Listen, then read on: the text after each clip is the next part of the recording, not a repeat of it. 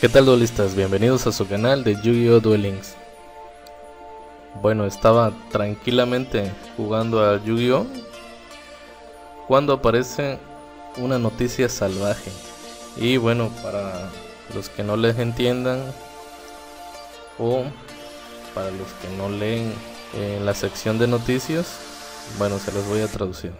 Dice, atención duelistas, los efectos de ciertas habilidades se cambiarán el 23 de mayo, a continuación se presentan las habilidades que se cambiarán y los cambios que se harán y el razonamiento detrás de los cambios. Razonamiento de los cambios. Joy Wheeler, habilidad refuerzos.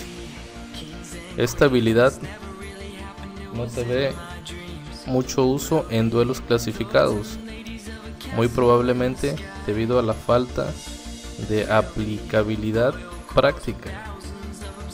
Hemos cambiado el efecto de esta habilidad para animar a los jugadores a jugar con Joy Wheeler y usar sus monstruos tipo guerrero. Bandido Kit, habilidad cambios. Esta habilidad es abrumadoramente común en duelos clasificados y ha llevado a una falta de diversidad de habilidades en el metagame. Además, el ser capaz de usar libremente cambios no parece propicio para el personaje el Bandido Kid, ya que solo se debería de cambiar cartas en situaciones nefastas. Por lo tanto, agregaremos una condición a la activación de esta habilidad. Ishizu Star, habilidad Precognición. Esta habilidad es poderosa, sin embargo, se utiliza muy raramente debido a su condición de activación difícil.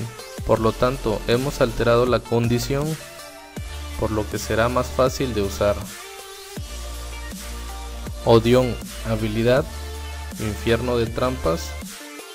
A se le ve poco uso en los niveles superiores de duelos clasificados, por lo tanto, hemos cambiado el efecto de su habilidad Infierno de Trampas para apoyos de decks orientados en cartas de trampa. Bueno, y ahora en este apartado vienen los cambios que se le harán a las habilidades. Eh, Joy Wheeler, habilidad refuerzos.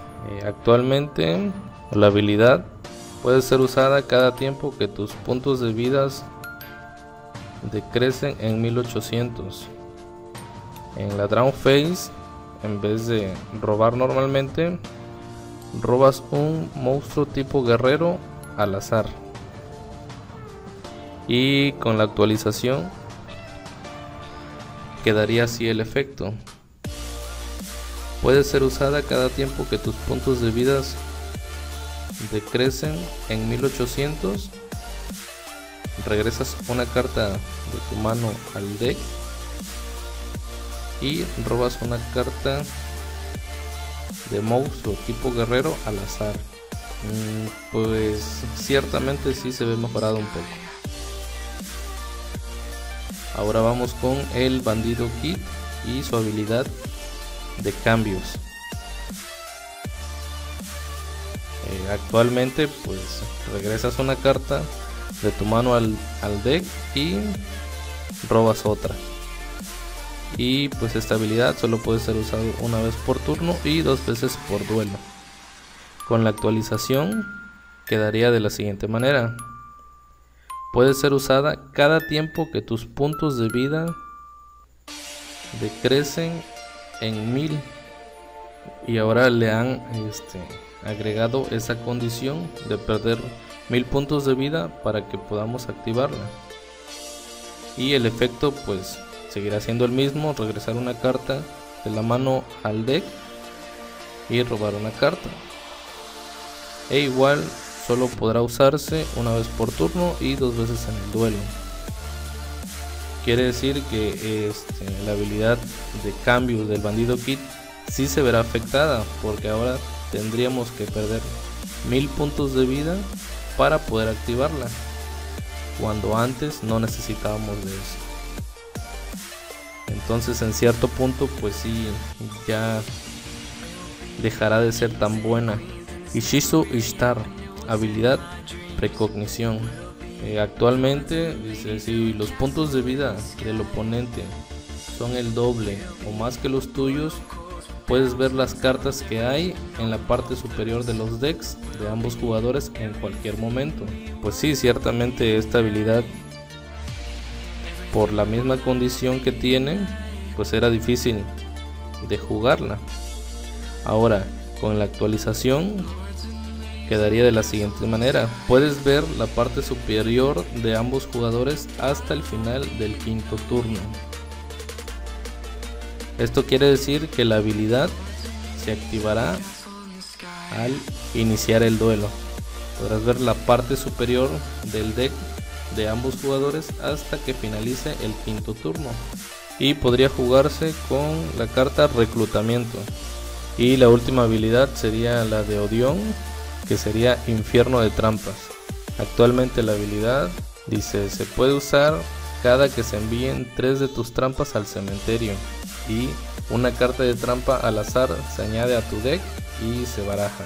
Y bueno, ahora con la actualización quedaría de la siguiente manera. Puede ser usada cada tiempo que tengas tres trampas en el cementerio. Una carta al azar de trampa en el cementerio es añadida a tu mano y una trampa al azar es añadida al deck y se baraja. Esta habilidad solo puede ser usada una vez por duelo. Bueno, ya así de esta manera pues queda muchísimo que mejor. Así sí se podría jugar esta habilidad, ya que sería pues recuperar una carta directamente a tu mano y una al deck. Nos esforzamos por crear una experiencia bien equilibrada y divertida para todos los duelistas y cambiará periódicamente la habilidad y la prohibición y las listas de prohibidas y limitadas para crear un mejor ambiente de duelo. Cuando estos cambios se vayan a hacer, siempre daremos aviso con anticipación. Y gracias por jugar Yu-Gi-Oh! Duel Links. Bueno chicos, aquí la traducción de mensaje que nos acaban de enviar. Y pues entrará en vigor el 23 de mayo. Así que estén atentos. Todavía tenemos tiempo, un poco más de un mes para seguir aprovechando las habilidades. Pero váyanse preparando con nuevos decks para cuando suceda el cambio. Y sí, ciertamente la habilidad que más se vio afectada de forma negativa, pues es la habilidad de cambios de El Bandido Kid. Y las otras tres se vieron, se vieron beneficiadas con el cambio para fomentar eh, la diversidad de decks en el metagame.